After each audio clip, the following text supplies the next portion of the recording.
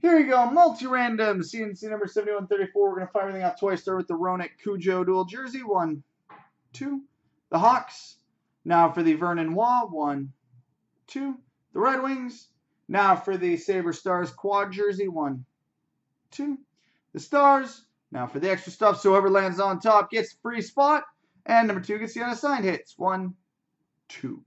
And the free spot goes to 56JG and the unassigned stuff, Boudreau 89.